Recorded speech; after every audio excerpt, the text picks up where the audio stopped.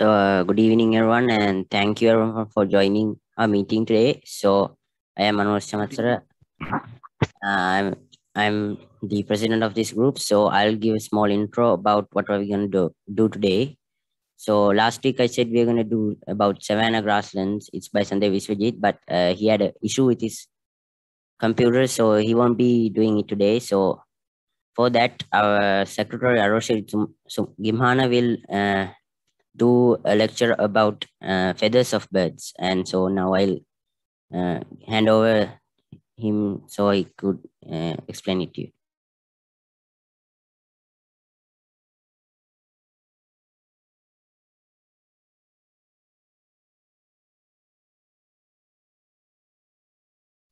Okay, thank you, Anwar.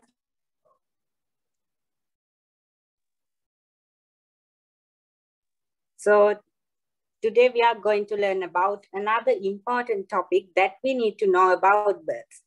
That is feathers of birds.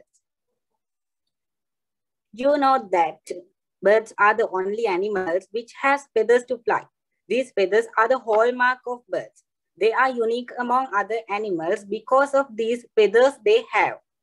These feathers come in various shapes, sizes, and also in various colors. Also, they have many functions because of these colorful feathers, we can call these birds as the color of our mother nature. This is the content of my presentation. First, I'm going to explain you about what are the feathers. It's about general introduction to feathers. And second topic I'm going to explain is structure of feathers. It's about what are the main parts of a feather. Then about types of feathers. There are mainly two types of feathers we want to learn. Next, I'm going to explain about what are the damages caused to feathers. Final topic I'm going to explain is collecting feathers, which is an interesting hobby you can engage in your leisure time.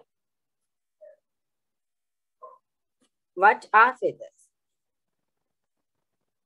We can say that feathers are epidermal growth that forms a distinctive outer covering or plumage on birds. Also, these feathers can cover most of bird's body. These very attractive feathers has major functions such as thermal insulation, waterproofing, support to the flight, maintaining the balance during the flight, and also for coloration. Plumology or plumage science is the name of the science that is associated with the study of feathers. Also, it's a part of this huge, uh, huge study ornithology. And the person who studies plumology is called as the plumologist. Now we are coming to the structures of feathers. When you look more closely at a feather, you can see it has many parts the central line it has is called the rachis and the and there are vane is connected to the rachis which is made of barbs and smaller barbules. Here in this picture, I think it's clear to you what are the main parts of this feather. And also you can see calamus at the bottom part and also after feather. Here also you can see what are the main parts of feathers.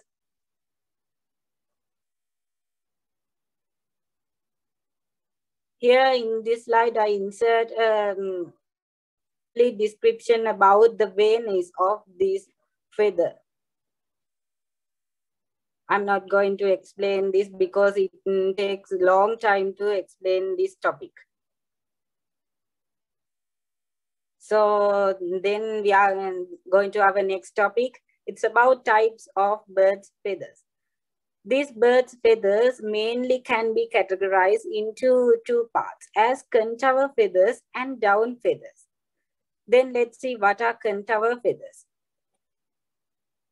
Contour feathers the, form, form most of the surface of the bird and also they aid in flight and also for the coloration addition as the additional thing they can maintain the shape of birds also they can insulate and waterproof, etc. So many function of these feathers they have because they are the only organisms to have feathers.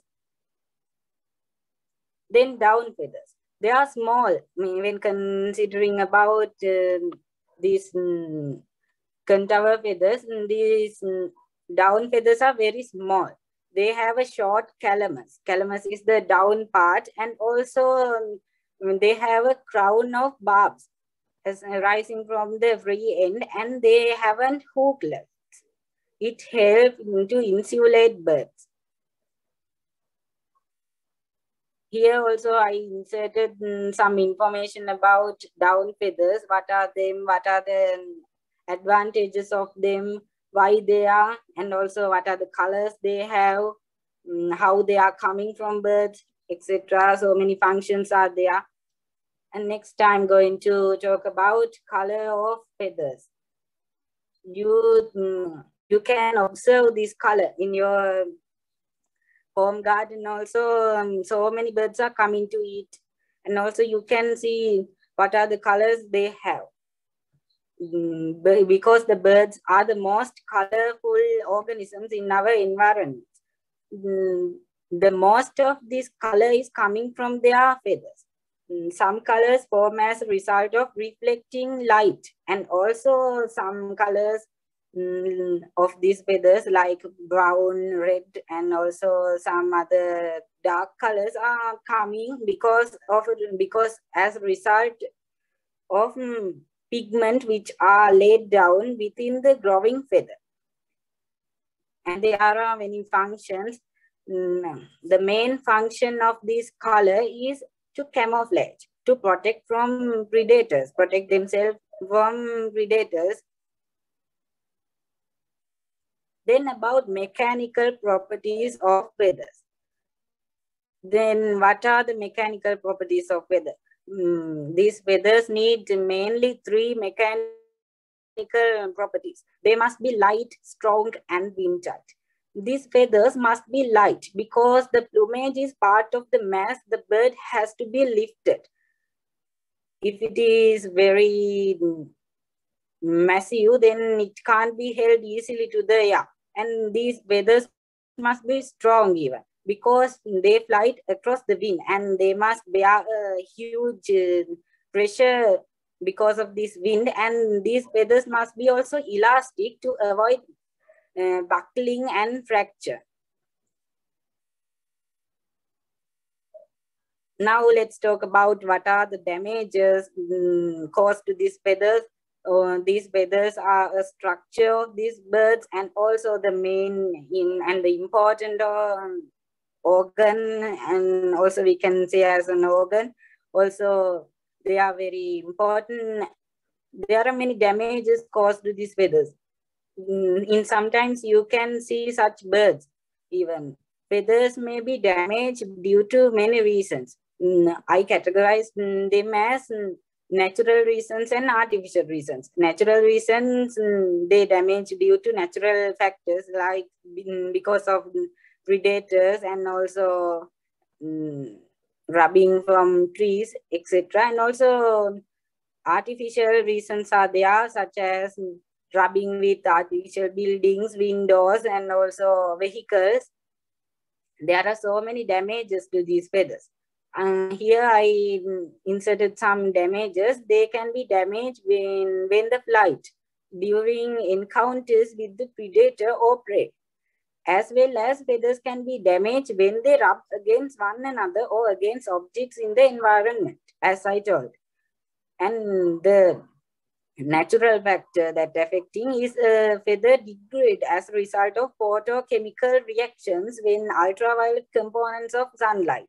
You know that ultra, uh, UV rays, ultraviolet, and also they can affect the physical structure of the keratin, which uh, these birds' feathers are made up of. I forgot to tell that um, feature these feathers are made up of keratin, the substance with the same substance which our hair made up of. They also can be attracted by array of bacteria, fungi, and also some other uh, other microorganisms and, and also mites, lice, and other small organisms can be attract this feather. Then I'm going to explain you about collecting feathers. How can you maintain a collection? Many people collect feathers as their hobby. These collections help them to identify and also to increase their knowledge about ornithology. So then I'm going to tell you how to maintain a feather collection. You can start to collect feathers from your home garden. First, you should take a book of bird and please mute your microphones. I kindly request you to mute your microphones because it will disturb you.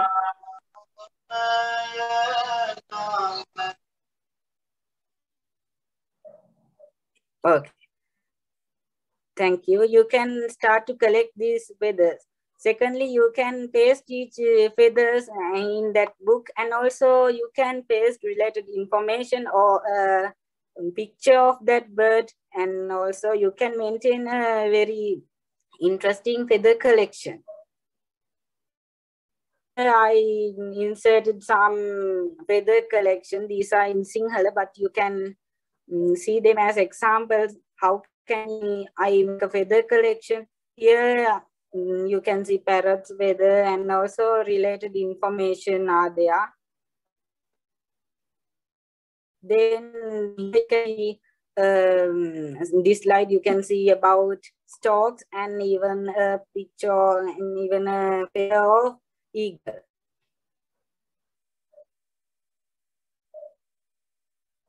In this slide, I inserted this slide because here you can see feathers of this house sparrow and the common tailor, as in Batticha and also the gay kurulla.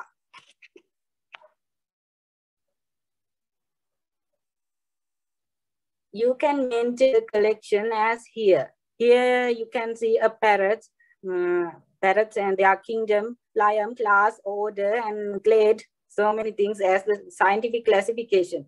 You can insert these thing, things to your feather collections. By this, this is a creative way to increase your knowledge about ornithology and also about birds is the end of our presentation. So I'm going to show you the summary, what we talked about the talked in this presentation. We talked about uh, feathers. Feathers are epidermal growth that form a distinctive outer covering on birds. It's called as the plumage.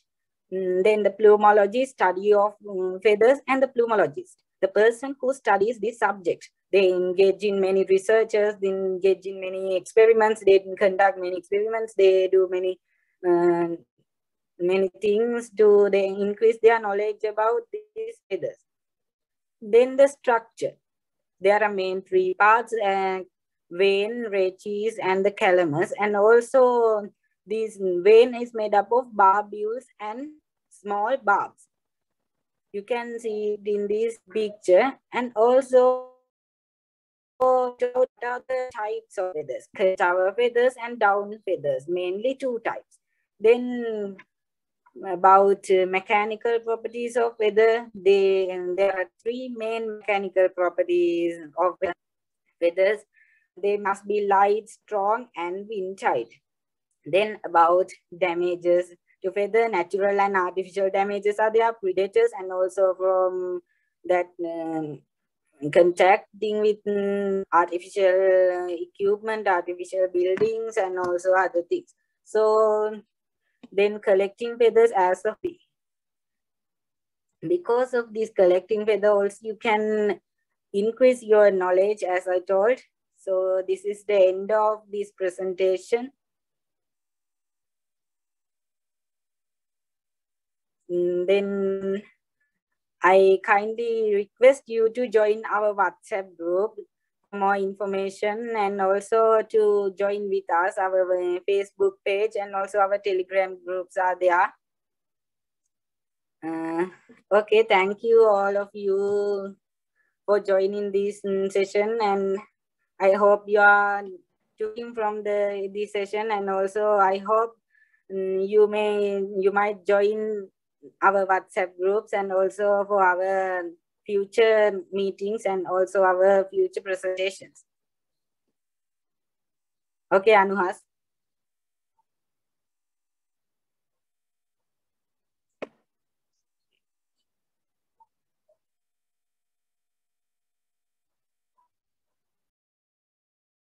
Anuhas, are Yeah. you there? Yeah, yeah. Thank you, Arosha, for sharing uh, your knowledge about feathers of birds. Uh, so, if you have questions about uh, the presentation today, uh, you can send them to the chat box.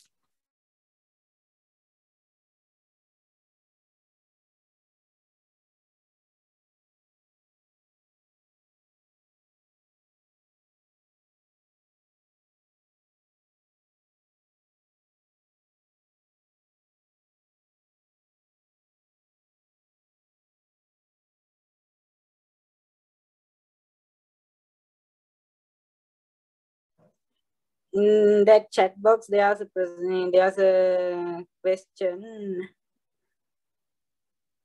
As are there any birds uh, with some of their body parts not covered with feathers? Yes, all the all these body part of these um, birds are not covered with feathers, and also in penguins, they haven't all surrounded and covering of these feathers. They have fur as like other um, organisms. They haven't actually they haven't a proper feather system, feathers, and to maintain their flight.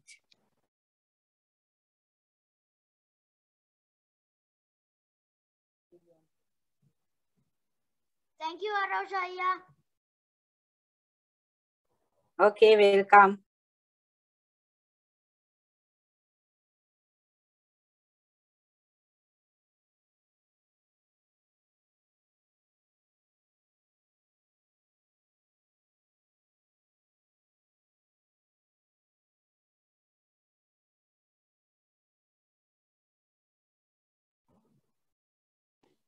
Are there any questions?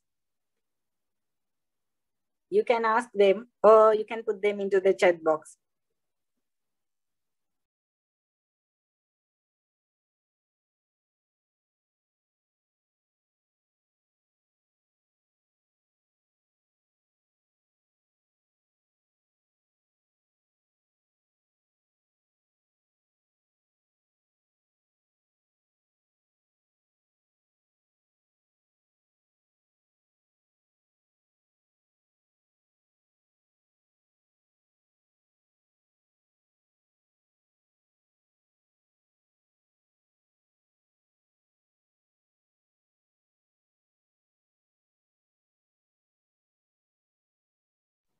I think there's no questions.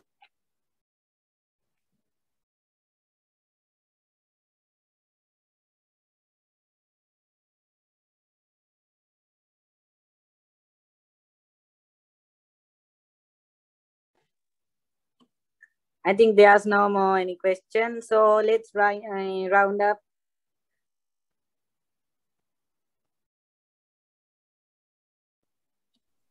Yeah, I think uh, there won't be any more questions. So, uh, thank you everyone for uh, thank you everyone for joining our meeting. Uh, it's a great pleasure for for you. Uh, and you, you also have a small notice that uh, we, we'll have we're gonna make a small magazine. And if you you know have a, some kind of considerable knowledge about birds or researching, you can send articles through a form. We'll send it to the WhatsApp group and the Facebook group. Uh, so I think that's it for today. Uh, so thank you again for joining.